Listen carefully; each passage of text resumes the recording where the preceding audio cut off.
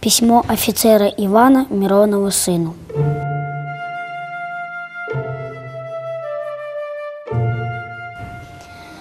Юраська, твой отец уехал драться с фашистами, которые напали на нашу страну. Многие отцы вместе со мной оставили свои семьи и, рискуя жизнью, ведут борьбу с нашим врагом.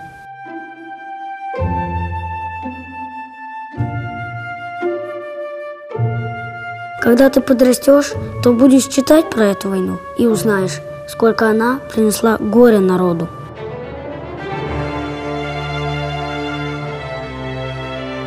Но надо ли вам грустить?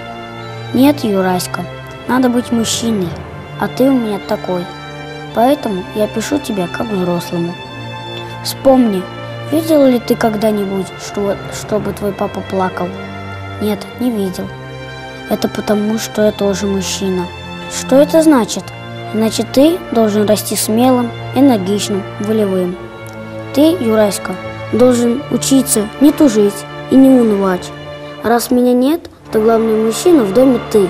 Это твоя главная обязанность – поддерживать нашу больную маму, чтобы она не плакала и не унывала. Возможно, вам будет трудновато с питанием и одеждой, но это ничего. Я в твои годы сидел на одном хлебе с луком и имел всего одни старые штаны. А если со мной что-то случится, хочу, чтобы ты вырос мне на смену, настоящим гражданином страны Советов и настоящим воином. Вот тебе мои заветы. 16 августа 1941 год.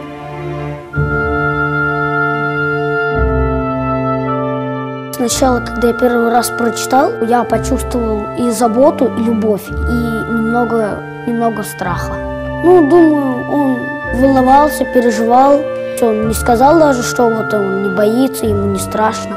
Не сказал, что даже может умереть на этой войне. Он, по моему мнению, был э, хорошим отцом. Ну, то есть он хотел сына воспитать как мужчиной, а не почти что на равных. Он мужчина, и он уже как мужчина.